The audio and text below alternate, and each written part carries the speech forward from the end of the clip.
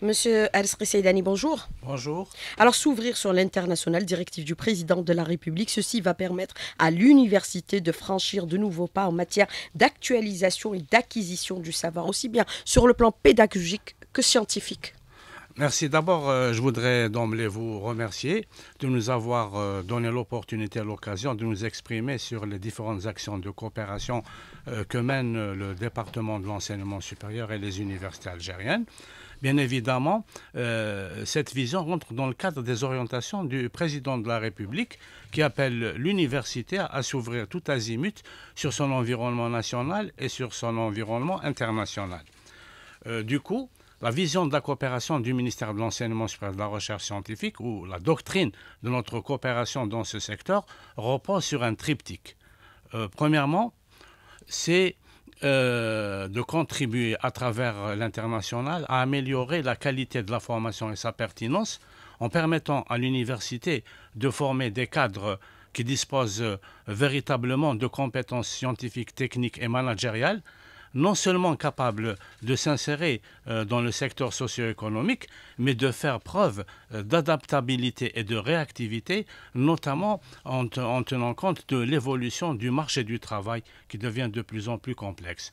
Le deuxième pied, si vous permettez, c'est le, le, renforcement de la recherche scientifique, de la recherche scientifique comme vecteur agissant dans le domaine économique, la recherche à travers une recherche fondamentale et appliquée de qualité, car la recherche fondamentale euh, conjuguée à la recherche industrielle constitue le vecteur essentiel euh, par excellence pour euh, promouvoir le développement de la recherche, pour trouver des solutions à des problématiques posées par l'agriculture et l'industrie, et connaissant d'autant plus dans un contexte actuellement particulièrement difficile de globalisation, euh, où seule une recherche scientifique euh, de qualité soutenue peut relever le défi de l'indépendance économique. Mais de façon concrète, comment doit être définie et réalisée cette coopération de façon concrète avec l'université? D'abord, en coopération interuniversité et coopération avec l'étranger. De façon concrète, comment elle doit être De façon concrète, nous avons euh, la coopération euh, pour, que l'université puisse euh, aller vers des partenariats renforcés avec des établissements étrangers, euh, nous mettons d'abord le cadre juridique. Le cadre juridique, il passe par les grandes commissions mixtes de coopération que nous, que nous tenons et nous organisons au niveau du ministère des Affaires étrangères. Là, nous avons signé plus de 75 accords internationaux qui nous permettent donc d'avoir l'ancrage juridique qui permet aux universités de, développer des actions de coopération. Deuxièmement, nous avons euh, la coopération euh, institutionnelle de ministère à ministère. Là également, au cours, malgré la pandémie, notre département ministériel a, signé de nombreux accords, notamment avec les Américains, le, Royaume-Uni de Grande-Bretagne, la Chine, euh, le Qatar, la Tunisie, la Mauritanie. Donc, c'est des accords qui ont été signés dernièrement. Et enfin, nous avons la coopération interuniversitaire. La coopération universitaire, c'est des accords qui lient les universités algériennes aux universités euh, étrangères. Euh, c'est quoi un accord interuniversitaire? Un accord interuniversitaire, un, premièrement, c'est la mobilité humaine de haut niveau. Deuxièmement, c'est la codirection de thèses universitaires. Troisièmement, c'est la co-tutelle de thèse universitaire. C'est la mise en place avec des partenaires étrangers en fonction de leurs euh, compétences, en fonction de leur spécialité et de, de leur performance, de mettre en place des actions de coopération binationale ou multinationale. cinquièmement, c'est un tremplin qui permet également de répondre en commun à des appels à projets internationaux dans des domaines qui qui concerne les grands défis euh, de l'enseignement euh, supérieur, tels que le défi de l'employabilité, le défi de la gouvernance, le défi de la relation université-entreprise, le, le défi de l'assurance qualité. Donc tous ces défis peuvent être, trouver une solution dans le cadre de la collaboration, dans le cadre de partenariats renforcés avec les partenaires étrangers. Nous en comptons actuellement 1098 conventions interuniversitaires internationales, plus 678 euh, conventions qui sont en cours d'étude, ce qui est un chiffre impressionnant. Donc euh, à ces conventions interuniversitaires s'ajoutent les manifestations scientifiques. Habituellement, le ministère de l'Enseignement supérieur et de la Recherche scientifique organise environ 3000 manifestations scientifiques internationales chaque année. Mais malgré la pandémie, nous avons pu, euh, nous avons pu organiser 334 manifestations scientifiques internationales avec 107 euh, pays et avec la participation de 3, 2384 enseignants-chercheurs étrangers. Euh, les manifestations scientifiques, c'est une opportunité pour faire émerger les établissements algériens, améliorer leur visibilité, leur attractivité internationale et permettre de valoriser la production scientifique des établissements, des enseignants-chercheurs et également euh, de mettre en, lumière les différents réseaux d'enseignants-chercheurs qui existent, qui sont reconnus dans leur spécialité à l'international et ceux qui sont visibles à l'international. Oui, mais quand vous avez abordé à l'instant, M. El Saïdani, l'ancrage juridique, est-ce que cet ancrage juridique permet aujourd'hui à l'université d'aller seule vers cette coopération internationale ou inter-université, ou alors il va falloir recourir encore une fois vers le ministère, à savoir la tutelle euh, Pour répondre à cette question, donc au, niveau de la tutelle, au niveau de la tutelle, nous partons d'un principe, d'un principe consacré, c'est que l'ouverture de l'université sur le monde a un impact positif sur la qualité du capital de connaissances accumulé par un pays. L'ouverture, nous, euh, l'université, elle est indépendante, indépendante sur le plan pédagogique, indépendante sur le plan scientifique, indépendante sur le plan du recrutement, mais, mais, euh, sur le plan des financements, comme vous le savez, c'est le ministère de l'enseignement supérieur qui continue à subventionner l'université. Mais à terme, nous allons euh, aller vers l'autonomie des, universités conformément aux orientations du président de la République. Et l'ouverture à l'internet, nous facilitons. Le ministère joue le rôle de facilitateur pour accompagner les universités à aller vers l'international. Euh, pourquoi? Parce que l'ouverture à l'international peut avoir plusieurs impacts sur l'université. Le premier impact, c'est quoi? C'est l'impact de l'employabilité un, l'étudiant, quand il est mis dans un univers international, donc vous le mettez dans un environnement multinational qui lui permet euh, d'avoir une euh, expérience internationale valorisante dans le domaine du marché d'emploi, ce qui constitue une plus-value en termes de devenir professionnel, de s'ouvrir aux différences culturelles, aux compétences en matière de langue étrangère, qui sont aujourd'hui des aptitudes très très demandées sur le marché du travail. Deuxièmement, l'impact sur la qualité du capital de connaissances. L'ouverture de l'université vers le monde offre des opportunités de collaboration scientifique très très importantes en, euh, euh, féconde pour les enseignants-chercheurs, parce que quand il est ouvert à l'international, il lui permet de, de, développer des, des de s'arrimer avec des activités qui vont à l'état de l'art. Deuxièmement, de s'enquérir de ce qui se fait sur le plan international dans son domaine d'activité et de nouer des collaborations scientifiques multisectorielles. Alors si je reprends vos propos, M. Euh, Seydani, cette ouverture de l'université sur l'international est plus que bénéfique, tel que l'avait recommandé le président de la République avec la conjoncture on est dans un esprit de mondialisation et de l'internationalisation de l'enseignement supérieur. Le contexte l'exige également. Oui, oui, le contexte l'exige également. Comme je vous le disais, aujourd'hui, nous avons, euh, nous, vivons un contexte de, marqué par la mondialisation. Et comme je l'ai dit, aucune université, aucun pays ne peut apporter seul des solutions approprié et indiqué au phénomène que nous vivons aujourd'hui. Donc, euh, oui. Oui, mais avec les exigences, euh, par exemple, du moment qui aujourd'hui doivent euh, permettre d'assurer ce qu'on qualifie des trois S, sécurité énergétique, sécurité alimentaire, sécurité sanitaire, c'est les priorités du gouvernement. Il faut impérativement assurer cela par cette coopération internationale, interuniversité, par l'échange de connaissances à travers le monde, puisque vous inscrivez en droite ligne des exigences du gouvernement. Oui, comme je, vous l'ai dit, j'ai cité déjà deux éléments. Je, rajouterai un troisième et un quatrième. L'ouverture à l'international peut apporter un, appui sur la capitalisation des bonnes, pratiques Euh, nous savons que, quand l'université est ouverte à l'international, ceci permet aux étudiants, aux enseignants et aux chercheurs de se rapprocher et de se nourrir des meilleures pratiques internationales, les best practices. Et nous avons également l'impact sur les performances de l'université qui exerce, qui s'exerce sur le, euh, sur le, le niveau de performance des étudiants diplômés de l'université, sur la productivité de recherche de l'enseignant-chercheur, mais également sur la connaissance des meilleures pratiques universelles, les best practices qui ont un impact positif sur l'enseignement, sur le, le- la recherche-développement et sur la valor- valorisation des connaissances. Mais ces performances prennent en considération aussi, par exemple, certains domaines d'activité qui sont plus que vitaux, puisqu'on l'a vu avec la pandémie du Covid-19, par exemple, la question liée euh, à la euh, numérisation. À la, question liée à la numérisation, aujourd'hui, comme je, je vous l'ai dit, il y a quatre priorités du gouvernement. Il y a quatre grandes priorités du gouvernement. L'intelligence artificielle. La sécurité énergétique, la sécurité alimentaire, la santé du citoyen, l'intelligence artificielle et le numérique.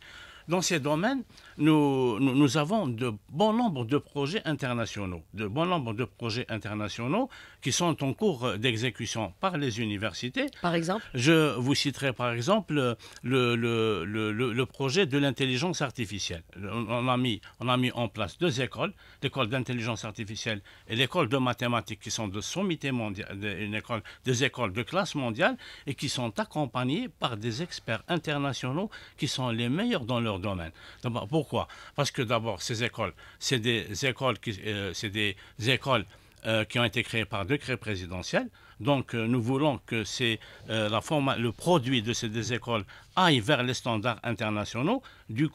Nous les, nous les faisons accompagner par les, les pays qui disposent de hautes capacités scientifiques et technologiques en termes d'encadrement, en termes de conférences, en termes d'expertise, en termes de programmes. C'est-à-dire on a des enseignants étrangers qui étrangers, viennent dispenser euh, des cours. dispenser des cours. Dernièrement, nous avons reçu un enseignant américain qui est resté un mois euh, au niveau du pôle de Sidi Abdallah et qui a mis en place le, le module de euh, l'entrepreneuriat et qui a eu des contacts avec euh, les, étudiants, les enseignants et même avec les partenaires, de- le- les partenaires économiques de ces deux écoles. Je vous rappelle que nous avons signé déjà deux conventions avec euh, Huawei, le groupe euh, qui est le, le groupe chinois Huawei, qui est le troisième groupe euh, dans le monde et par- dans et le pour- domaine du numérique. du numérique et avec Sonatrach pour accompagner ces écoles, pour qu'il y ait de développer de très très fortes interactions entre les écoles et le secteur socio-économique.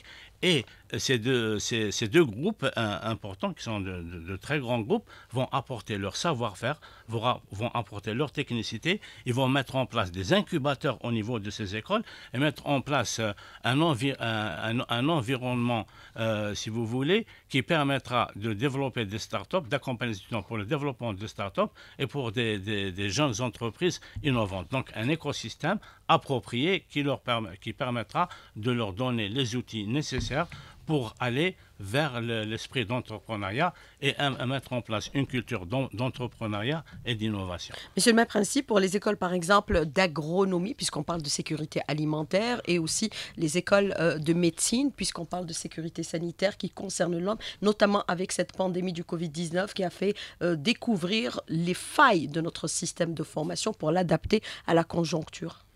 Donc euh, pour ça, euh, comme je vous l'ai dit, nous, nous avons organisé 304, euh, 324 euh, euh, web- webinaires ou, co- con- ou, conférences virtuelles, euh, virtuelles pendant cette pandémie. Pourquoi? Mais on envoie des étudiants se former à l'étranger également? Oui, oui, se on voit des étudiants se former à l'étranger, mais au plan national, nous avons mis un- en place un dispositif, un dispositif grâce à la coopération et grâce aux différentes euh, réunions virtuelles et grâce au partage d'expériences et de bonnes pratiques avec nos partenaires étrangers pour mettre en place l'enseignement à distance et l'enseignement hybride. Deux, également l'échange d'expériences pour former euh, des, enseignants qui seront euh, des enseignants pour transformer les cours du présentiel vers le, cours à distance. Alors, Monsieur Alsri Saïdani, moi je voudrais revenir un peu sur cette coopération euh, de l'université qui s'ouvre aujourd'hui sur l'international, recommandations et directives du président de la République pour acquérir les dernières mmh. technologies et les nouveautés en matière aussi bien pédagogique que scientifique, puisque ça concerne aussi l'aspect lié à la recherche scientifique. Cette coopération permet aussi d'assurer la formation des formateurs, c'est essentiel. Elle se fait de façon permanente et continue, Monsieur Alsri Oui, oui, elle se fait de, façon euh, permanente et continue. D'abord, c'est une des missions de l'université pour assurer la formation tout le long de la vie. Deuxièmement, nous avons des... s'adapter aux nouvelles mutations, changements, technologiques, les aspects pédagogiques. Voilà, je vous citerai le projet Petr Paza euh, dans le cadre de l'Union européenne que nous menons avec un, groupement d'universités espagnoles.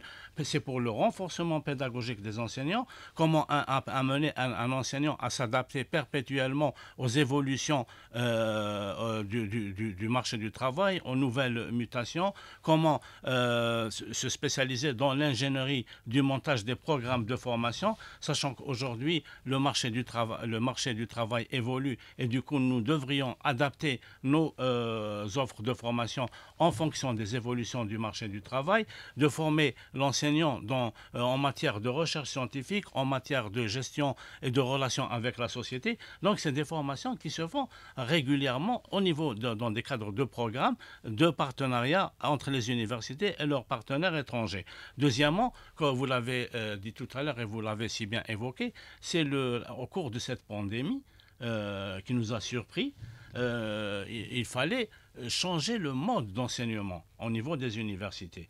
et grâce à la coopération, donc nous avons pu développer l'enseignement le, à distance, l'enseignement hybride, de former des enseignants, des enseignants dans l'ingénierie de montage des programmes de formation en hybride, en tenant compte des normes qualité et de la diversification, et également de former des, enseignants à dispenser ces, enseignements en ligne, et troisièmement, d'accompagner les, les, jeunes enseignants également qui arrivent à euh, s'approprier à s'approprier ces, ces, nouveaux dispositifs, ces nouvelles techniques et ces nouvelles euh, méthodes.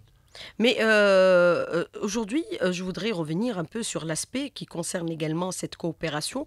elle est, elle s'étale aussi sur le continent africain, puisque même l'Algérie reçoit des étudiants venus de l'Afrique pour se former dans notre pays. Et ça, c'est une tradition. Oui, oui, c'est une tradition. Vous savez que l'Algérie euh, reçoit euh, chaque année environ 2500, 2500 étudiants étrangers. D'abord, c'est une coopération qui rentre dans le cadre euh, des liens culturels, des liens historiques, dans le cadre des accords que nous avons avec certains pays africains et dans le cadre de la solidarité agissante avec les pays africains pour que l'Algérie participe à l'effort de développement de ressources humaines de ces pays. Mais combien on en a formé? On, on a formé depuis la création du ministère de l'Enseignement supérieur jusqu'à 2019 60 000 étudiants africains. 60 000 étudiants africains et euh, le ministère de l'Enseignement supérieur considère que chaque, tout diplômé euh, d'une université algérienne et tout diplômé d'une école algérienne est un lien supplémentaire d'amitié, de compréhension et de coopération. Nous sommes aujourd'hui fiers, fiers de voir que beaucoup d'étudiants, d'étudiants africains qui ont été formés en Algérie occupent aujourd'hui des postes décisionnels. Il y en a qui sont premiers ministres, il y en a qui ont été présidents de la République, Seychelles.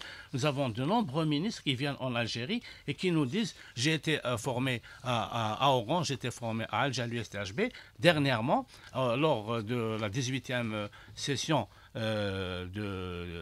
du Congrès arabe des ministres de l'enseignement supérieur et de la recherche scientifique qui s'est tenu à Alger et qui a été, un grand succès et une grande réussite.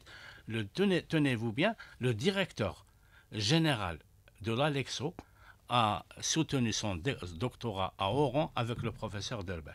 C'est un, c'est un produit de l'université algérienne. Ensuite, nous voulons rentabiliser, nous, voulons rentabiliser euh, tout, tout, ce vivier euh, d'enseignants, euh, plutôt d'étudiants qui ont été formés en Algérie. Donc nous avons pensé à, mettre en place un, alumni nous sommes en train de mettre en place un, alumni avec environ 1000 adhérents dans une première phase.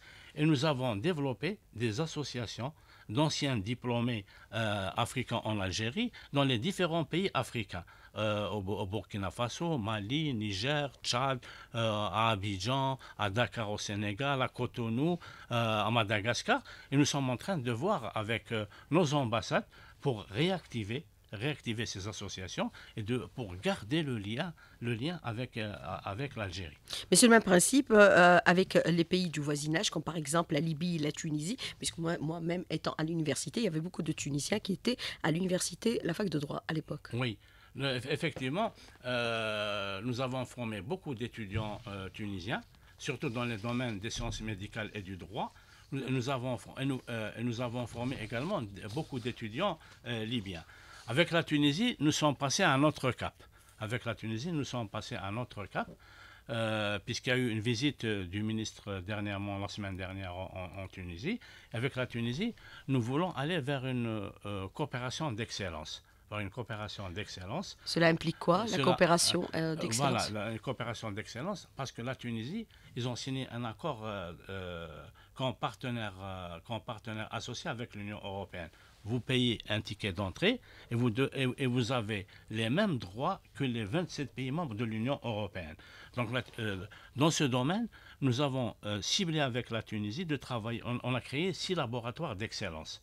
Six laboratoires d'excellence entre Algériens et euh, les laboratoires euh, tunisiens, c'est des laboratoires d'excellence, c'est quoi? C'est des laboratoires euh, qui sont bien équipés, qui sont bien structurés, qui disposent de compétences, des, chercheurs aguerris et chevronnés, des laboratoires qui, ont eu à gérer des projets à l'international, des projets de coopération à l'international. Du coup, nous allons travailler dans le cadre de ces laboratoires associés pour, améliorer le positionnement des établissements d'enseignement supérieur algériens et, et, tunisiens dans la réponse aux appels à projets des programmes de l'Union européenne. Vous savez que le, programme Horizon 22-27 euh, va mobiliser, vous savez combien? 94 94,5 milliards d'euros. Donc il y a une manne financière très très importante. Donc nous allons avec les laboratoires tunisiens. Et là, vous avez des programmes pour, pouvoir se positionner. Il faut avoir vraiment des, euh, des équipes d'excellence, de qualité. Donc, c'est une opportunité pour nous pour aller ensemble vers euh, les, programmes européens. Deuxièmement, nous avons également euh, lancé un appel à, à projet nous avons lancé un appel à, projet avec euh, la, Tunisie. Euh, nous avons recueilli plus de 200 projets et nous avons sélectionné 25 projets. 25 projets euh, de coopération de, recherche scientifique. C'est des projets donc, qui vont donner lieu à des résultats qui peuvent être transférés en milieu socio-économique sous forme de brevets ou de licences qui vont donner lieu à des publications internationales ou qui peuvent euh, permettre euh, la soutenance de doctorants. Avec la Tunisie, nous avons déjà, nous ne partons pas de, néant. Nous avons déjà capitalisé une expérience. Nous avons avec eux euh, réalisé 91 projets de recherche euh, donc de mobilité et quatre euh, grands projets d'envergure qui ont permis euh, d'avoir 891 publications, 16 525 citations et également de faire soutenir 160, 160 doctorats. Mais euh, est-ce que cette coopération aujourd'hui est renforcée, puisqu'on a vu que le président de la République, lors de ses déplacements à l'international, ou lors d'arrivée, par exemple, de grandes personnalités dans notre pays, aussi bien président de la République que euh, Premier ministre, il y a beaucoup d'accords de coopération qui sont signés avec l'université. On l'a constaté lors de son déplacement récent au Moyen-Orient, le Qatar et le Koweït, euh, et même l'Égypte. Il y a eu des, des accords de partenariat et d'échanges ont été signés avec l'université algérienne algérienne. Ça se renforce encore davantage Ça se renforce encore davantage. Il y a eu la visite du président mauritanien. Nous avons signé deux accords avec la Mauritanie. Il y a eu la visite du président de la République en Tunisie. Et quelques, un mois après, nous avons signé euh, six accords. Le Qatar, le Koweït également Le Qatar, nous avons signé euh, un accord avec le Qatar durant la visite euh, du président de la République. Et nos partenaires n'étaient pas prêts. Donc nous, nous, sommes, euh, nous avons mis les accords dans leur mouture définitive pour les signer avec l'Égypte tout prochainement, pour les signer avec les Émirats et pour les signer avec le Koweït. Mais qu'est-ce qu'ils prévoient ces accords aujourd'hui? Ces accords, c'est des accords qui prévoient, un, c'est euh, travailler sur des nouveaux projets de recherche, c'est-à-dire mettre en, place des projets de recherche structurants, fédérateurs, à haute valeur ajoutée et avec un impact socio-économique. Socio-économique, Deuxièmement, cette euh, nouvelle vision, elle, promeut quoi? Un, c'est l'émergence de nouveaux thèmes de recherche. Comme je vous l'ai dit, la sécurité alimentaire, la, euh, sécurité énergétique, la, la sécurité du citoyen, l'intelligence artificielle. Deuxièmement, elle favorise, ces projets vont favoriser le développement de formation doctorale et postdoctorale. Troisièmement, quand on, lance des projets d'excellence, donc vous allez améliorer l'attractivité et la visibilité internationale de, de, de, de nos pays. Mais c'est le même principe avec les grands leaders dans le domaine, par exemple, de l'intelligence artificielle, la numérisation, par exemple l'Allemagne, la Grande-Bretagne, les États-Unis, la Chine également, où nous avons une grande coopération, puisque les étudiants algériens vont se former également euh, en Chine. Oui, euh, c'est euh, les, priorités. Donc, nous avons des programmes de coopération. Nous avons des programmes de coopération avec la Chine, euh, on avait avec la Hongrie, avec la France, et les filières sont ciblées. Vous savez, on n'en voit pas dans n'importe quelle filière. Quelles sont les filières prioritaires? Les, filières prioritaires, c'est l'intelligence artificielle, tout ce qui touche le numérique, l'agriculture, la nutrition, les mathématiques. C'est les cinq filières prioritaires dans lesquelles nous envoyons. Pourquoi? C'est pour renforcer nos capacités nationales euh, en, matière euh, d'encadrement des universités. Par exemple, les mathématiques, vous savez que c'est une filière qui est en voie d'extinction. Il y a eu un sommet de l'UNESCO pour tirer la sonnette d'alarme. C'est pour ça que nous avons mis en place une école de mathématiques à Sidi Abdallah et l'intelligence artificielle. Maintenant, l'intelligence artificielle, elle est très très importante parce qu'elle a un impact transversal sur l'once appliqué à l'agriculture, appliqué à l'industrie, appliqué à la, forme, à la pharmacie. Donc c'est pour ça que nous avons euh, signé des accords avec les États-Unis, avec le Royaume-Uni, avec euh, la Chine pour accompagner les écoles de Sidi Abdallah. Deuxièmement, nous sommes en train d'élargir au Japon d'élargir à la France, d'élargir à l'Allemagne pour nous accompagner dans cette école. Parce qu'aujourd'hui, avec ce qu'on appelle le développement des, algorithmes et du calcul de puissance, où vous pouvez par exemple à travers l'intelligence artificielle exploiter en une minute un milliard de mots, donc c'est un, une filière, une spécialité qui devient aujourd'hui très très importante. C'est la raison pour laquelle nous voulons conforter euh, nos compétences dans ce domaine. Euh, dans ce domaine pour former euh, des, des, étudiants majeurs de promotion qui disposent de compétences pour revenir justement enseigner au niveau de ces, de, ces deux écoles. Alors justement, vous avez cette question de l'auditeur qui vous dit aujourd'hui il va falloir former et cette coopération, est-ce que c'est pas aussi un danger qui permet par exemple aux Algériens de partir à l'étranger, de ne plus revenir? Ça a été le cas par le passé, monsieur euh, Al-Sri Saïdani, en forme à coups de milliards pour que les étudiants ne reviennent plus. Est-ce qu'il va falloir la planifier, l'encadrer et légiférer dans ce cadre-là? Trouver des euh, mécanismes pour qu'ils puissent revenir Non, d'où est-ce que vous, tenez cette information? Que les étudiants ne reviennent pas. Premièrement, euh, je vous dis que de 2005. Aussi bien les étudiants, les chercheurs que les, enseignants. On parle des trois catégories. Oui, oui, des hein. trois catégories. Parce que le ministère de l'Enseignement supérieur et de la Recherche scientifique a une politique de refondation. Tous les dix ans, nous refondons nos programmes. Nous, nous faisons des évaluations. Nous faisons des évaluations et en fonction des évaluations, nous mettons en place de nouveaux dispositifs et de nouveaux mécanismes. Par exemple, la formation courte durée la formation courte durée. Vous savez que chaque année, avant la pandémie, on envoyait 26 000 enseignants à l'étranger pour des séjours d'un mois. Après évaluation, nous avons euh, euh, déduit un impact négatif de ces programmes de formation et nous, venons de lancer le programme Mobinat, Mobilité nationale. Mobilité nationale, pourquoi? Parce que nous avons développé de façon significative nos capacités en matière d'encadrement et en matière euh, euh, de réalisation de travaux de recherche, de plateformes technologiques de caractérisation et d'expérimentation.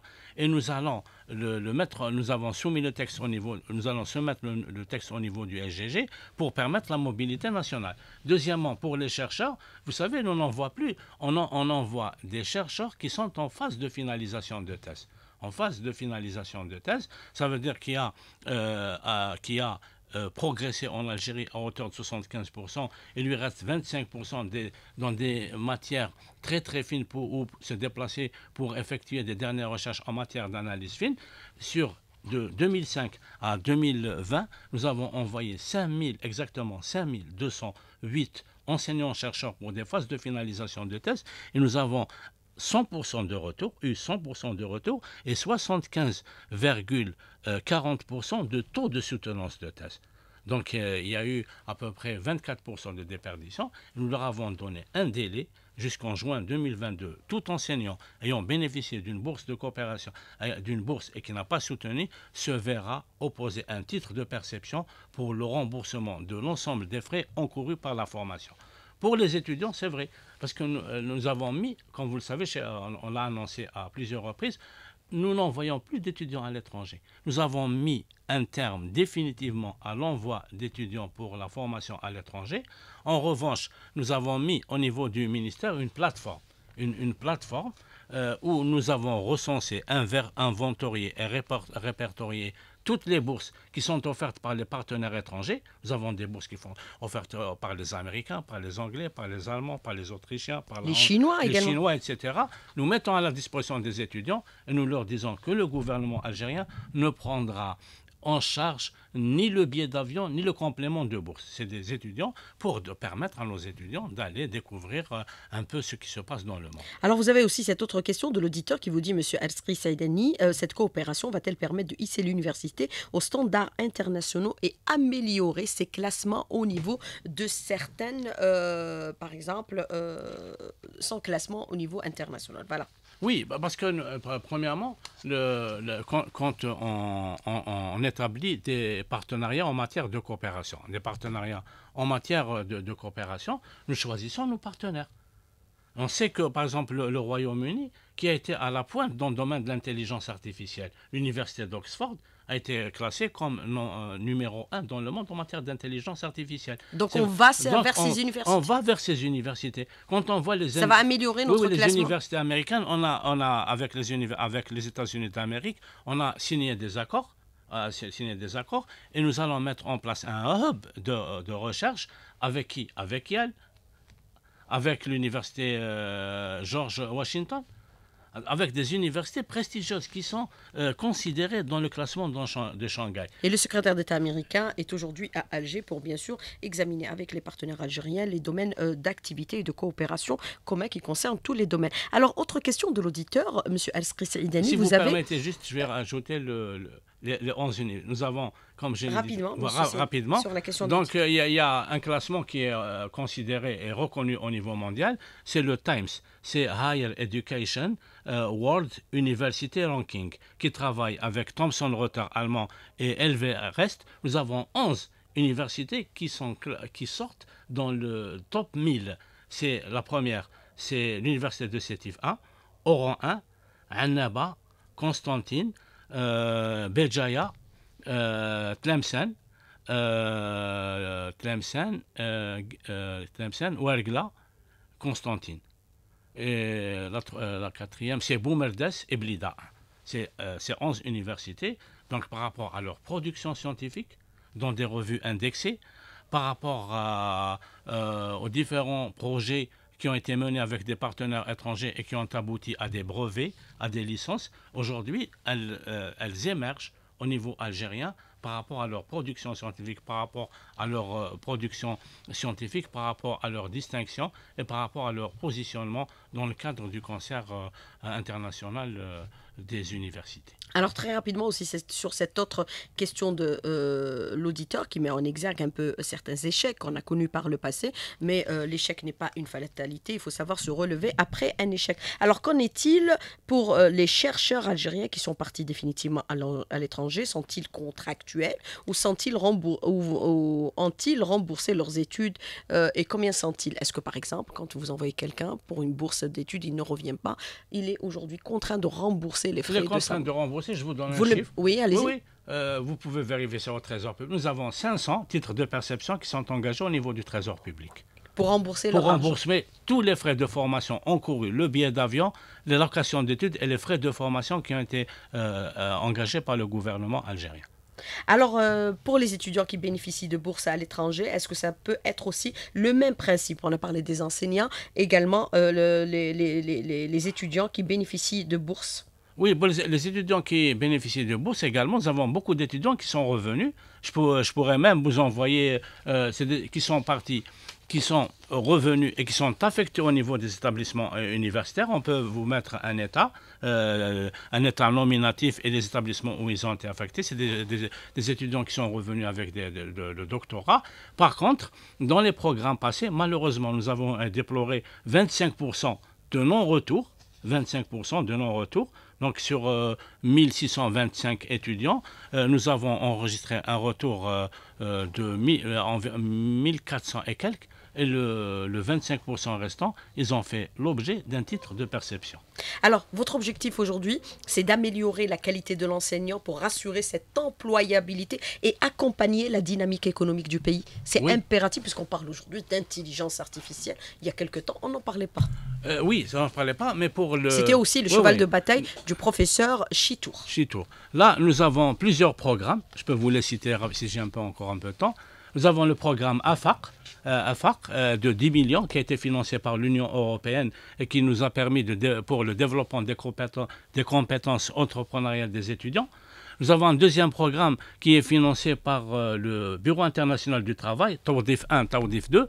La première phase, c'est comment surfer sur le marché de l'emploi, la mise en place, la mise en place de clubs de recherche d'emploi. Et la deuxième phase, c'est comment mettre en place des outils d'orientation, des outils d'orientation euh, encore une minute, des outils euh, d'orientation.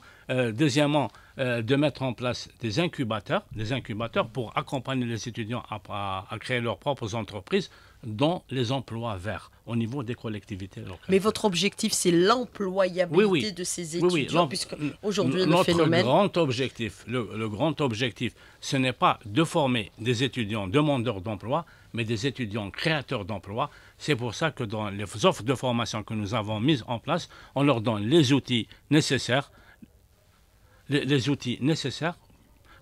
euh, pour les accompagner par une pédagogie novatrice, évolutive et active qui permet à l'étudiant, à partir d'une idée, de, pro- de créer sa propre entreprise. Monsieur Alsré Saïdani, merci d'avoir répondu à nos questions et d'avoir été en direct avec nous ce matin dans le studio. Merci beaucoup, bonne journée, même si on a quand même une petite déception par rapport à l'échec de notre équipe nationale. Oui, c'est pas une euh, fatalité, ils peuvent se relever. On a Et vraiment une belle le- équipe. on a vraiment le moral un très bas. magnifique coach. Merci beaucoup. Merci. Bonne journée.